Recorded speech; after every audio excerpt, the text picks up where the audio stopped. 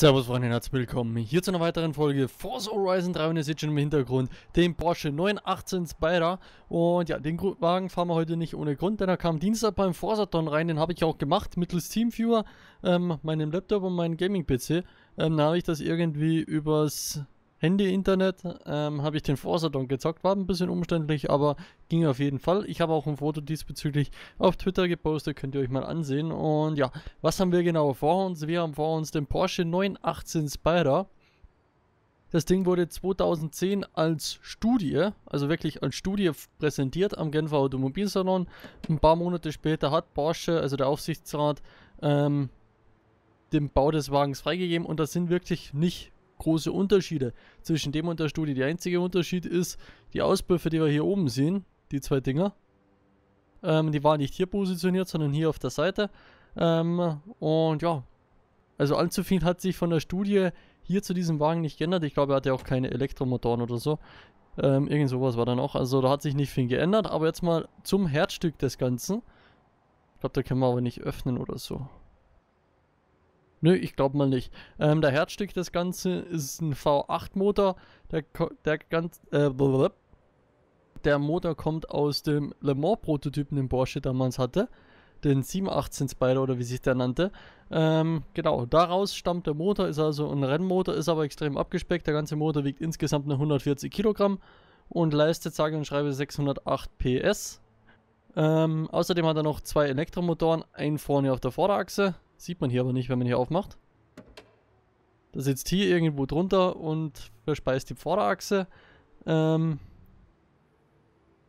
der hat 129 PS sowie hinten am Getriebe. Also, also hier Motor, hier zwischen Motor und Fahrer ist auch nochmal ein Elektromotor angeflanscht und der bringt nochmal 156 PS und alles zusammen leistet somit 887 PS Leistung. Ähm, er besitzt dadurch, dass die Vorderachse nur mittels Elektromotor angetrieben wird, ja keine Antriebswelle. Ähm, und ja, ich würde sagen, wir reden nachher ein bisschen mehr über das Fahrzeug. Wir steigen erstmal hier mal ein. Können wir das Dach auch abnehmen? Das ist ein Spider. Also runter mit der Hütte hier. Draußen ist schön Wetter.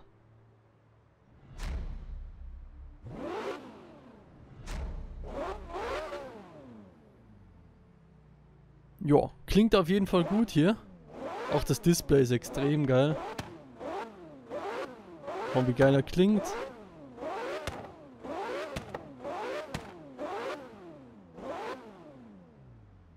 Ja, und das Ding geht satte 345 km/h schnell und ich würde sagen, wir fahren.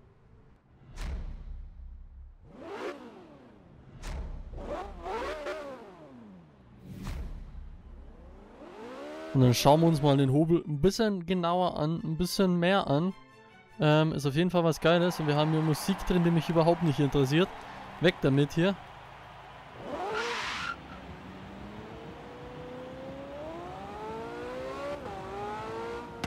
So, gehen wir mal ein bisschen rein.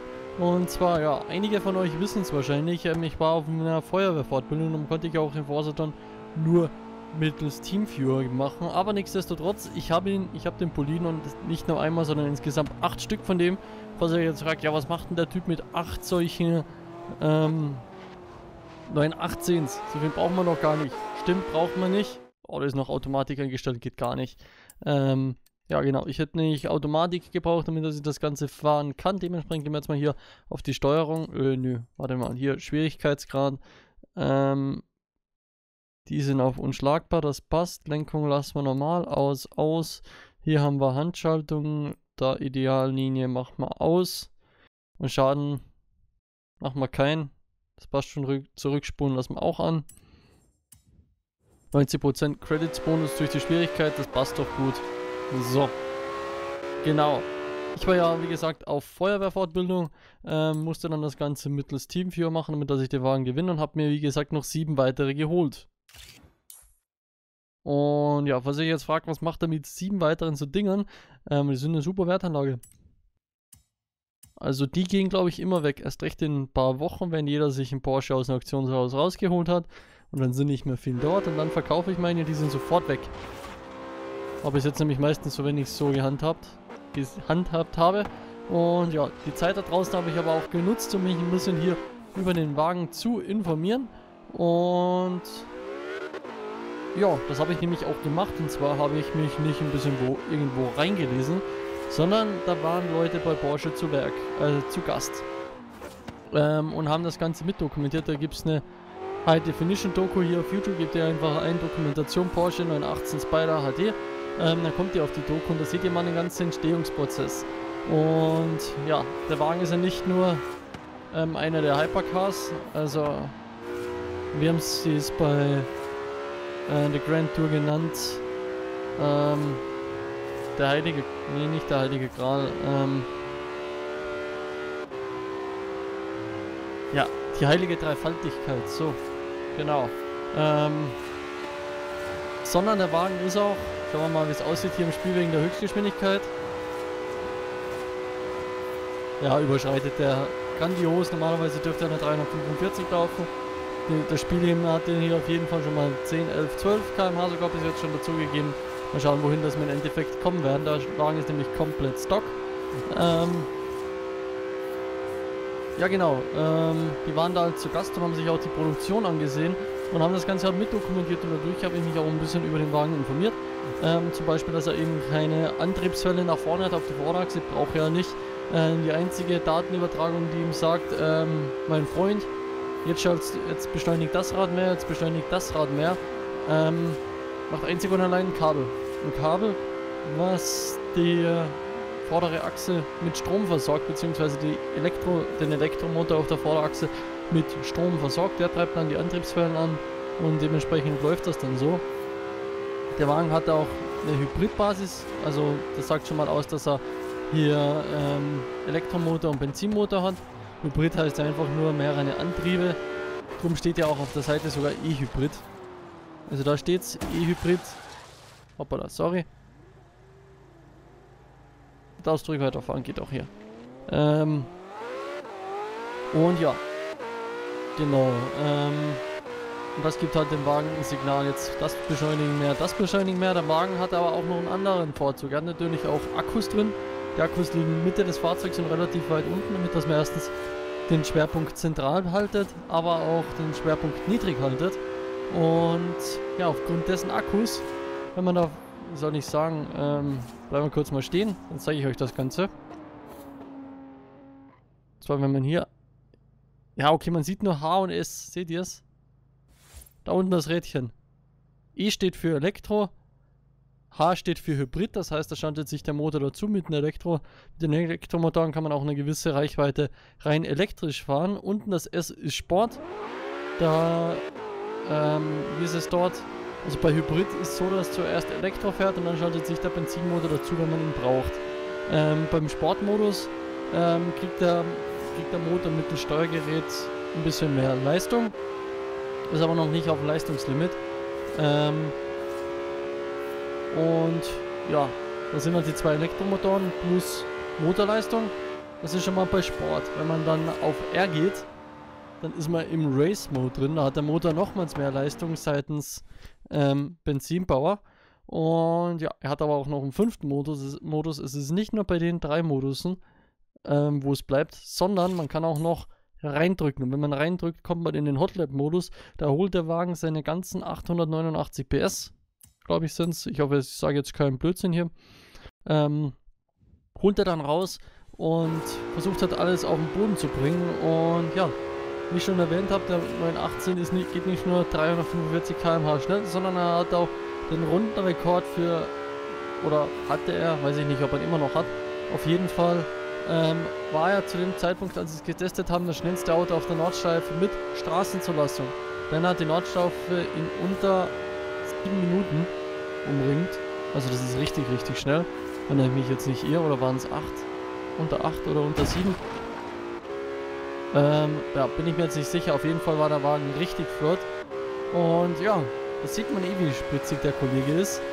Ähm, bei dem Wagen haben sie sich an zwei Autos eben orientiert. Einerseits ähm, am Porsche Carrera GT. Das da hat auch so mehr oder weniger ein bisschen die Formgebung her. Äh, soll insofern Nachfolger dementsprechend vom Porsche Carrera GT sein. Ähm, hat aber auch einiges, wie gesagt, vom Rennsport von Le Mans mit übernommen und das merkt man auch extrem. Also Das ist richtig, richtig, richtig krass. Und ja, es gibt noch eine verschärfte Variante hier des 918 und zwar die Weisach Edition. Ähm, ja, ich weiß aber nicht genau, was dort Unterschied, unter, der Unterschied ist. So wollte ich sagen. Ähm, aber sind auf jeden Fall beides sehr imposante Fahrzeuge. Macht auch richtig Laune, den Kollegen hier zu fahren. Handlingstechnisch hier im Spiel auch richtig gut.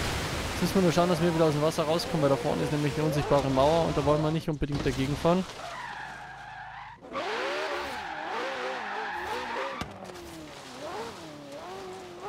Und ja, falls ihr euch jetzt fragt, ja, warum hat denn der so komische Auspuffrohre? Ja, das ist doch nicht typisch für ein Auto, das hat einfach den Grund.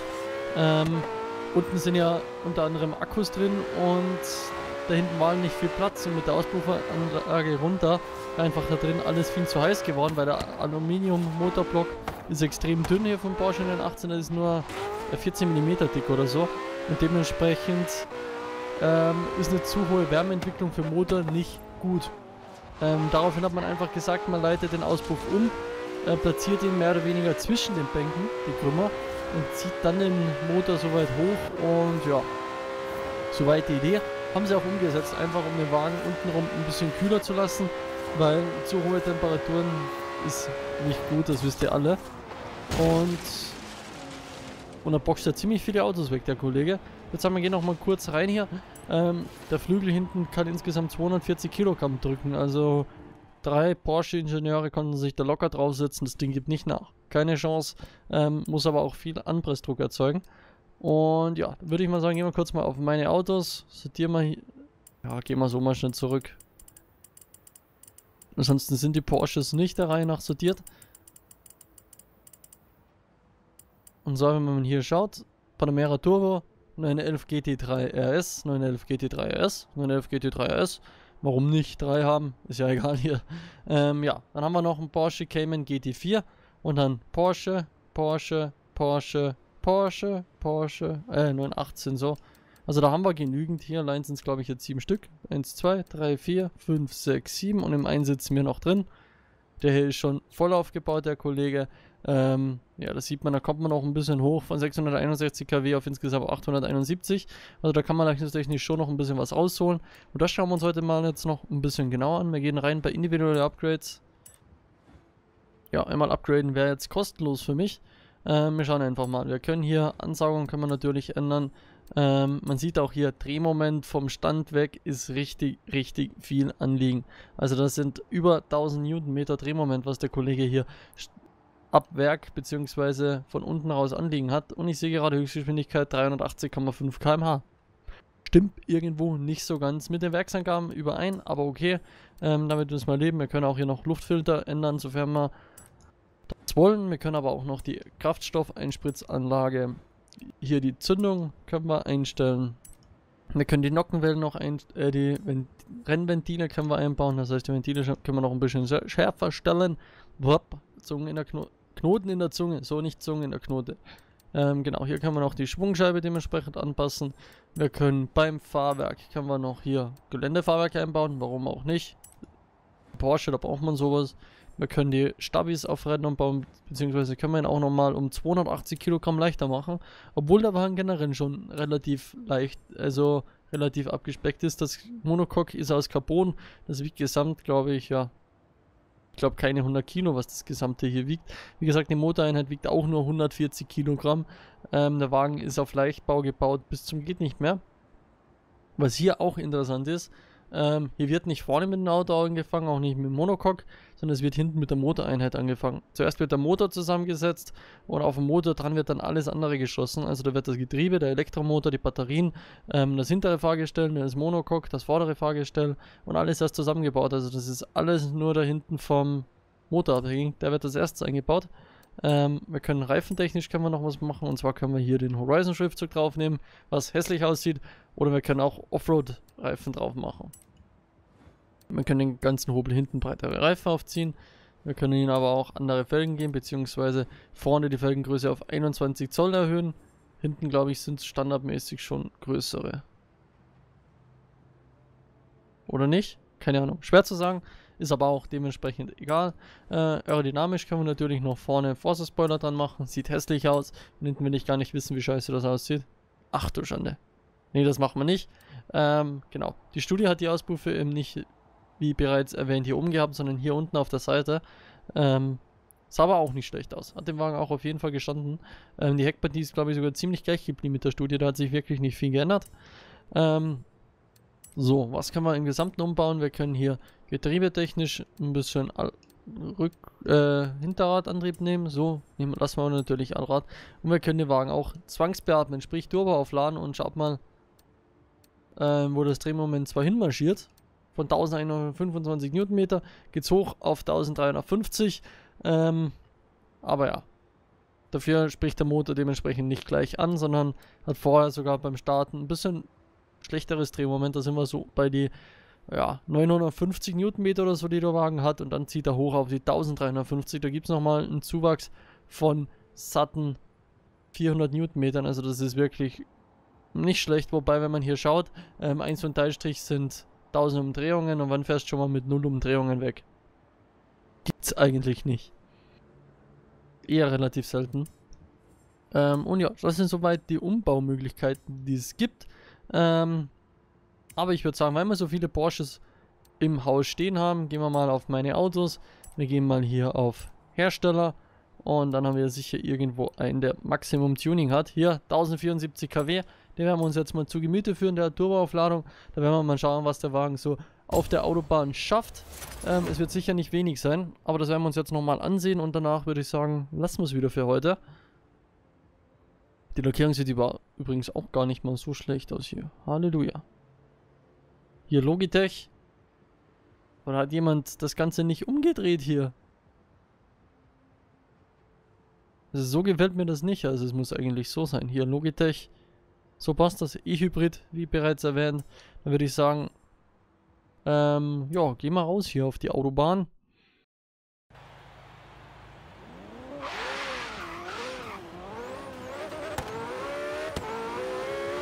Mit marschiert das Ding schon ordentlich vorwärts. Und es klingt auch böse mit dem Ausatmen.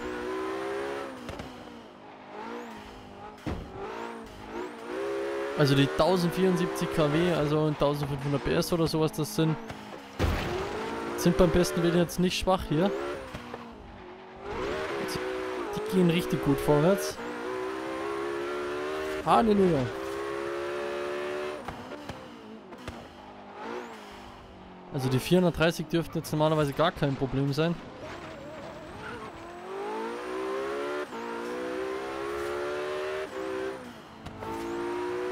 Außen haben wir auch nochmal LEDs rundherum beim Dacho. Das zeigt uns einfach nochmal die aktuelle Drehzahl an. Und unten rum, also die untere, ja, das untere Dreiviertel, zeigt normalerweise an, was der Motor wieder auflädt. Denn der Wagen lädt die Batterien mittels Bremsen auf, mehr oder weniger wie das Curse in der Formel 1. Die Technik nutzt der Wagen auch, also beim Bremsen wird der Motor wieder geladen. Ähm, richtig geile Idee. Dadurch kann man auf jeden Fall Energie sparen. Und man kann auch ungenutzte Energie vom Bremsen kann man halt hernehmen, um wieder Fahrzeugleistung rauszubringen. Und das ist doch mal richtig geil.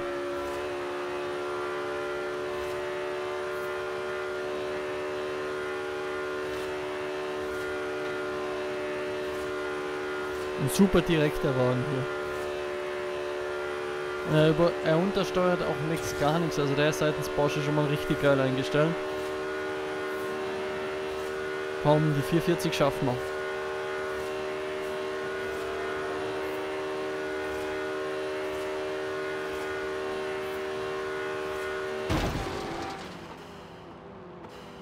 Da drüben haben wir übrigens ein Dacho, wenn ihr schaut. Das grüne da, was da ansteigt, das ist der Dacho. Ähm, Falls man in der Mitte die digitale Anzeige nicht möchte, kann man die halt hernehmen.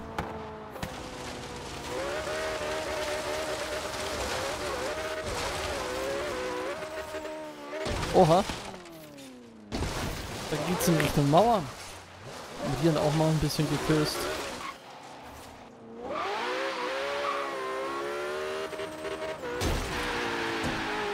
So macht man da vorne eigentlich die Vorderlippen dran.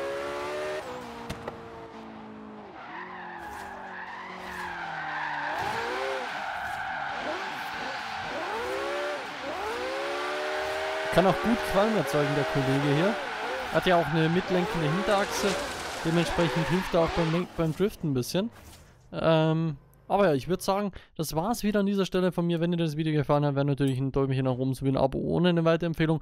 Super. Und ja, das nächste Mal machen wir wieder weiter hier wahrscheinlich im Let's Play oder so. Ich weiß nämlich nicht, wenn ich die Folge raushau, äh, was wir dann in der nächsten Folge machen. Das wird sich alles erst rausstellen. Ähm, ja. Aber ich bin raus, verabschiede mich und würde sagen, das nächste Mal sind wir wieder frisch am Start. Und ja, bis dorthin. Ciao, Leute.